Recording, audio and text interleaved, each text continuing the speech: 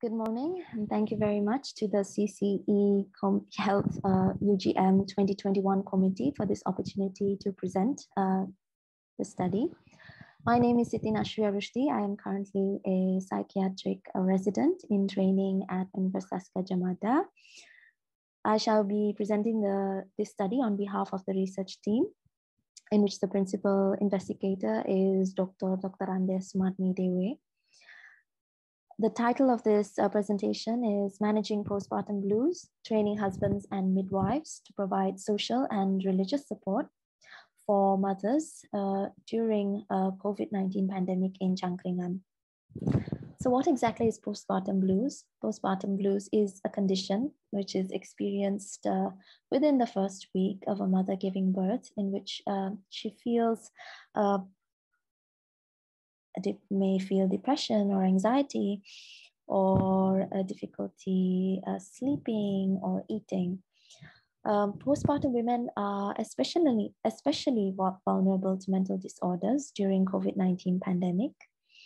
Uh, they are fearful and anxious about their own and baby safety during delivery and postpartum.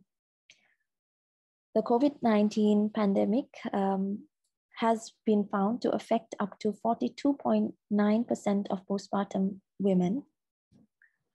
And uh, stressors such as economic difficulties, uh, family conflicts, domestic violence exacerbate stress and therefore postpartum blues. If postpartum blues are not adequately and promptly treated, it can put mother and baby at harm if these symptoms progress to depression and psychosis. However, social and religious support can help to overcome postpartum blues. And husbands and midwives are in an ideal position to provide this kind of support. So, the aim of this study is to improve knowledge and skills of midwives and husbands on early detection of postpartum blues, as well as how to deliver social and religious support to postpartum mothers. The second aim is to evaluate the decrease in postpartum depression scores after husband and midwife training. In this study, uh, we included uh, 16 mid midwives, 24 husbands, and 24 postpartum mothers in a quasi-experimental research with a pre-test and post-test one group design. The study period was from March to early June 2021. Participants um, were from three midwifery clinics and one uh, medical clinic, namely the Aziza, Kriti Arum, and Lanjar midwifery clinics in Cangkringan, Sleman, and the PKU Muhammadiyah Cangkringan clinic.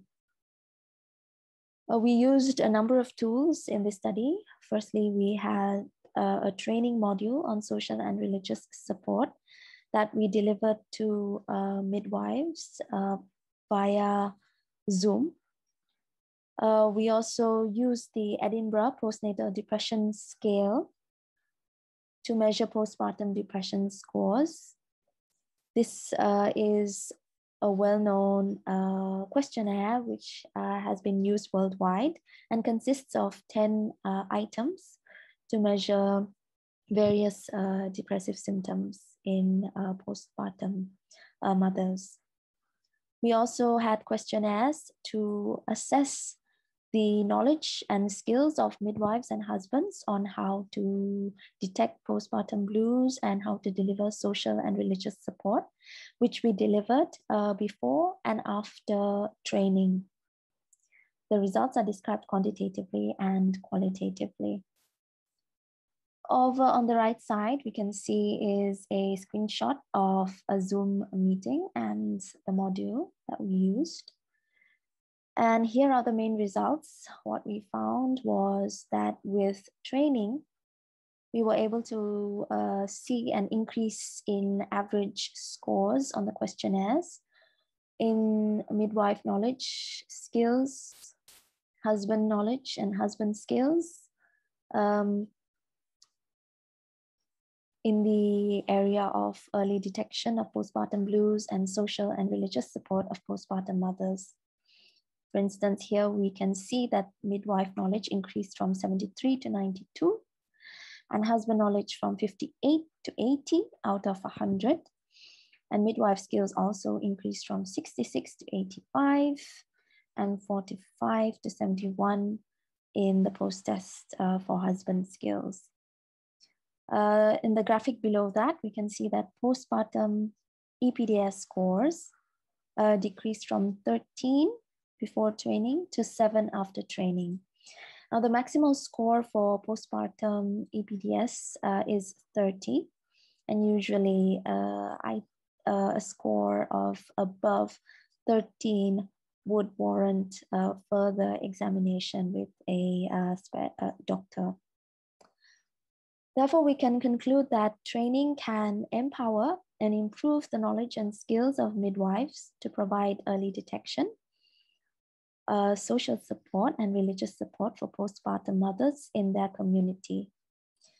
Uh, empowering midwives and husbands can also decrease the average EPDS score of postpartum women in Cangkringan affected by COVID 19.